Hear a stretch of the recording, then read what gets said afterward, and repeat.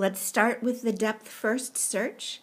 The idea is once you pick a vertex to act as the root of your tree, you want to create as long a path as you possibly can by adding another edge until you can add no more edges without actually creating a cycle.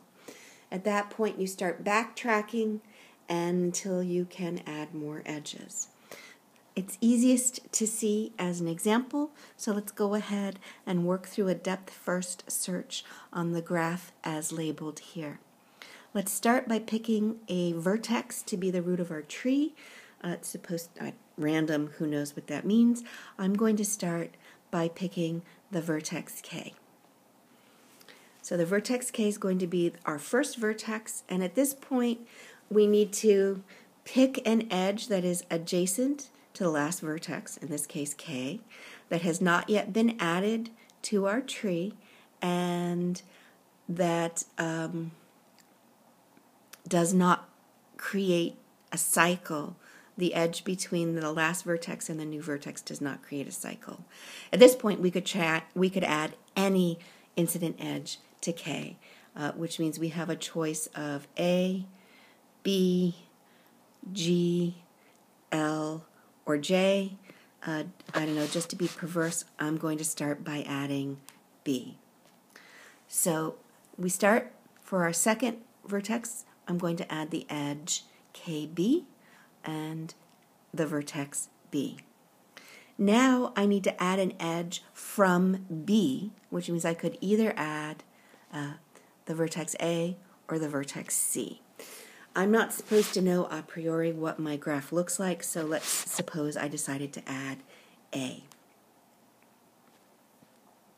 A will be the third vertex added, and now you can see at A, uh, when I want to move ahead, the only edge I haven't used is this edge here between A and K, but that creates a cycle. So I can't add that edge. I'm done with A, and I have to backtrack. So we backtrack to vertex 2, which is B, and we see that there are options to be added. So let's go ahead and add the next possible vertex I. I'm going to add the vertex C. So the edge BC gets added to our our tree, and C becomes the fourth vertex added. Now you want to work from the vertex C. Uh, I'm going to go to G, so we'll, we'll add the, the edge CG to our tree, and the vertex G gets labeled 5. Now you want to work off of G. There's lots of choices since G has a high degree. I'm going to add M as my sixth vertex. So we will add the edge GM. That means we can still keep going from M. Uh, this time, let's go ahead and add ML as the, and the seventh vertex would be L. Now you have to work from L. Uh, we can add, we can't add K since it's already, it would create a cycle, but we can add J. So we'll add J as the eighth vertex and LJ as an edge to the tree. From J, I think you can see where we'll go. We will be forced to add I. That's the only edge that does not close a cycle. And from I, we would be forced to add H because that's the only edge that does not close a cycle. And from H, there are no edges that can be added uh, without closing a cycle. That means you, uh, because the edge uh, excuse me, I'm having a hard time seeing what's here. Okay, so the edge mm, HG would create a large cycle, so it cannot be added. That means H has been processed. We need to backtrack to I. Adding IM would create a cycle, so it cannot be added. We would backtrack to J. Uh, JK would add a cycle. We'd backtrack to L. LG would add a cycle. We backtrack to M, everything's been taken care of. And now we're back to G. So at G, really the only possible edges we could add are GD, GE, or GF. So from here, let's say, let's add uh, GE. Now E is our 11th vertex added, and we're going to work from there Uh, first, let's add ed. Now, d, any edge coming out of d will create a cycle, so that is not an allowable edge to add to our spanning tree, which means we have to go back uh, to E as a vertex, and off of E we can now add F, and we have completed our spanning tree of this graph using a depth first search. Now, there are many, many possible uh, tree spanning trees uh, that could result from a depth first search. This just happens to be one where I wanted to illustrate uh, this backtracking idea.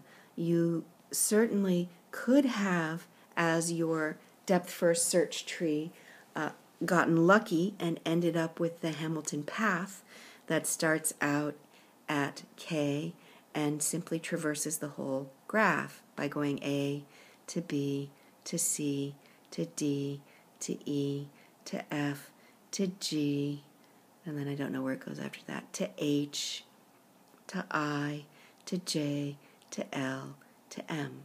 That is also a perfectly fine depth first search. But since it said that we're picking where we go sort of randomly, I wanted to, to, to uh, uh, implement it in a random sense. So there you have a depth first search. Let's go ahead now and do a breadth first search.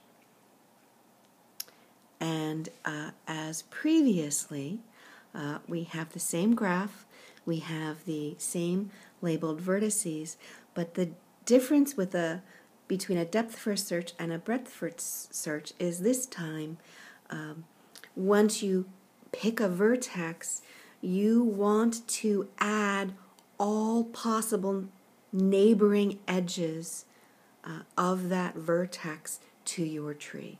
So you want to make the tree, the degrees of the tree, as large as possible, though you can only add vertices and incident edges as long as they do not create a cycle in your in in your creation.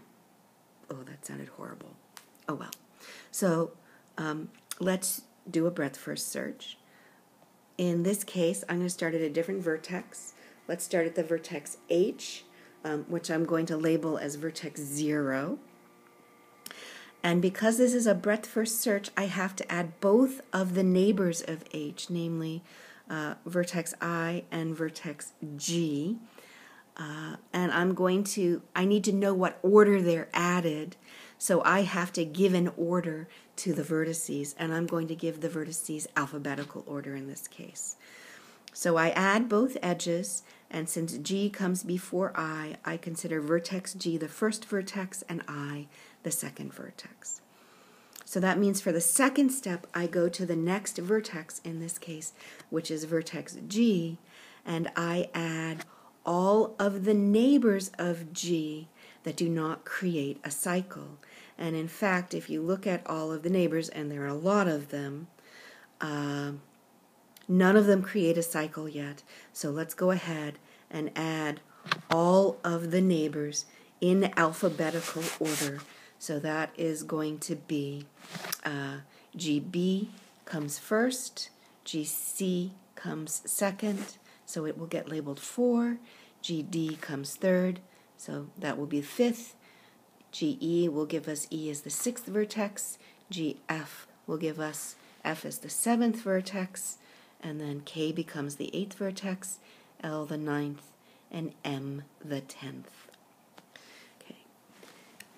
Now that we've processed the vertex labeled 1, we need to go to the vertex labeled 2, which is I, and add neighbors of I that don't create a cycle. Notice I can add J, but I cannot add this edge IM because IM would make a cycle here. So I'm really going to add one edge here, namely the edge IJ. Now that we've processed vertex, the second vertex we added, the we're going to go to the third one, which is B. And the good news here is there's only one more edge to add. Uh, I can only add the edge AB because the edge KB and the edge BC would create cycles. So we will add our final edge uh, AB or BA and label that uh, vertex with 12. We've now included all the vertices and we have a spanning tree of the original graph. It looks quite different from our depth first search.